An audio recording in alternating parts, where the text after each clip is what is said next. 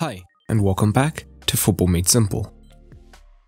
It was another big shock in the knockout stages as Croatia sent Brazil crashing out after penalties, following an extra time period that ended 1-0 with Petkovic equalizing after Neymar had looked like he had won it for the Seleção. The XG indicated that Brazil were wasteful with their chances, which they ended up paying for. But what tactics were on display? And how did Dalic's mid-game tactical adjustment help Croatia to come out on top? Let's take a look and we'll begin with Brazil in possession and a focus on the magical left hand side. When Brazil were on the ball, whether they were deep or higher up the pitch, Modric was assigned to man mark his former teammate Casemiro, and Kovacic dropping deeper to pick up Paqueta, who liked to push forward from midfield into the front five, as well as Neymar, who from attacking midfield tended to drift to the left hand side as well. So they knew that Casemiro would be crucial in the progression of the ball, and they were aware that throughout this tournament, Danilo has tended to come narrow in these situations in order to assist Casemiro in the build-up. So if Casemiro and Danilo were too close to each other, Modric could look to cover both. So we tended to see Casemiro push even higher up, dragging Modric with him and giving Danilo a bit more time on the ball to look to do some progression. But the reason that Modric picked up Casemiro in particular is that they knew that Danilo is not a great progressive passer, so they were willing to give him the space as long as Casemiro was picked up, knowing that Paqueta would only drop deep to help the progression in certain situations. Modric looks to remain touch-tied to Casemiro, and we see that Danilo is already beginning to invert. The Casemiro pushes slightly higher up in order for Danilo to receive in a bit more space to then look to progress the ball up the pitch. But Brazil are a tactically intelligent team, so they look to take advantage of the Croatian shape in a few different ways. What we tended to see initially was that Pasalic was very reactive to Danilo's movements, so when he pushed infield to become a second pivot, he tended to be dragged in with him, and with Neymar operating in the half space, dragging Juranovic towards him, Vinicius could initially receive the ball in some space, before Juranovic then looked to confront him, and as a result there would be one-on-one -on -one situations that Vinicius could try and exploit. And there were quite a few of these situations, but for the most part, today Vinicius was not at his best, so couldn't make the most of it. So here the inverted Danilo has drawn in Pasalic, and Neymar was in the half space, so the right back started off narrower, and Vinicius can receive the ball. And now he is somewhat of a 1 versus 1, although he is quickly backed up by his winger. So Brazil tried an alternative way to solve this puzzle, and that was initially by Vinicius again staying fairly high up and now locking up the right back. And with Pasalic drawn in, Neymar would now have plenty of room in which to drop into on this left hand side. And Brozovic could look to cover at times, but it was risky vacating the central region that Croatia were looking to protect throughout the 90. So if Brazil were quick enough in their build-up play, Neymar could get on the ball and then drive up the pitch.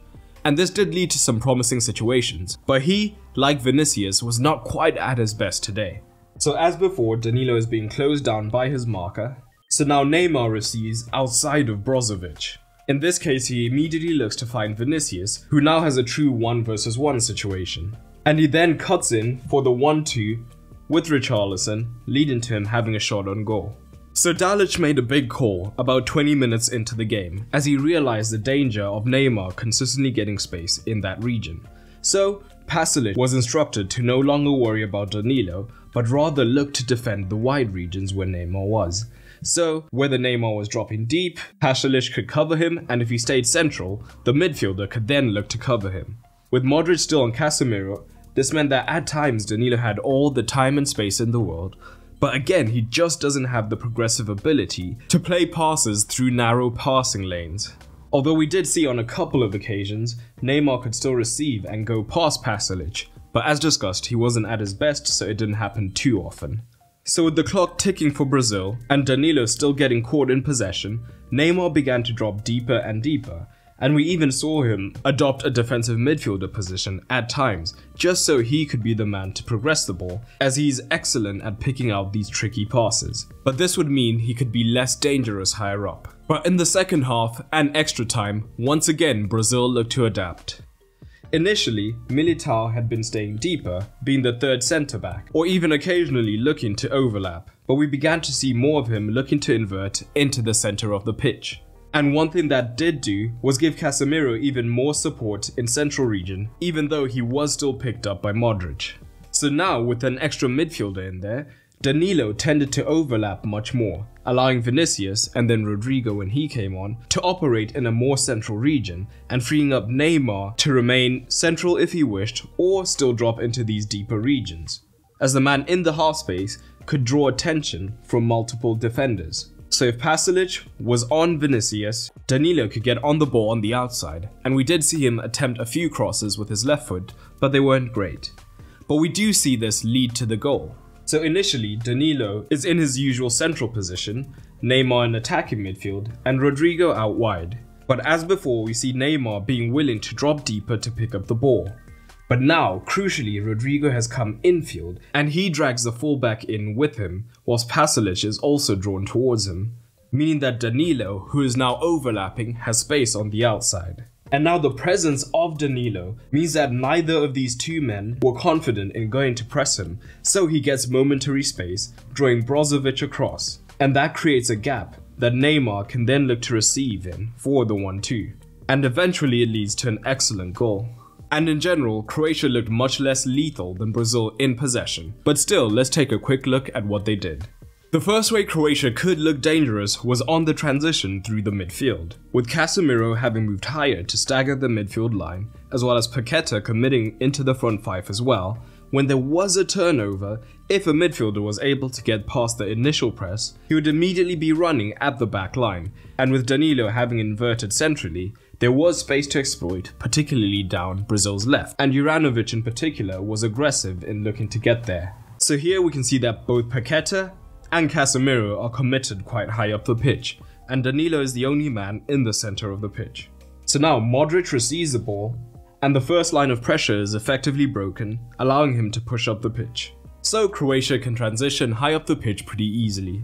But when Croatia had the ball in deep areas and from goal kicks, Brazil could initially defend in a 4-2-3-1, but the centre backs would look to split either side of the goalkeeper, with Lovren often receiving the initial pass. But rather than Richarlison just being the sole presser, Vinicius tended to get drawn in towards the ball, into more central regions. So with Juranovic now being the free man, Croatia were often able to work the ball towards him, and he was quite dangerous in the attack, and would often drive up the pitch into dangerous regions for Croatia. So Lovren is on the ball, and we see Vinicius immediately being drawn towards him.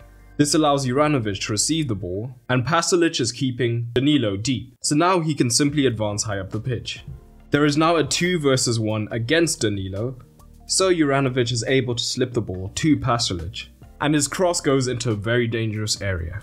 So later in the match, Brazil's high shape began to resemble their deeper shape, with Neymar being the man to join Richarlison higher up, so that they wouldn't be as vulnerable in these wide regions and Brazil could sit off at times in this 4-4-2 shape, and they were generally trying to protect the centre. However, Croatia wanted to exploit their fullbacks whilst also getting their midfielders on the ball as much as possible, so what we would often see is one or both of the fullbacks push up fairly high, and in deeper regions, either one midfielder or even two at a time at times, would look to receive the ball outside the pressing front two and keep possession in these regions to try and draw men onto them and force Brazil higher up the pitch. And this is evident in Croatia's heat maps. And as always, this midfield was key to keeping possession and preventing Brazil from applying too much pressure on them, despite Croatia not making too many chances.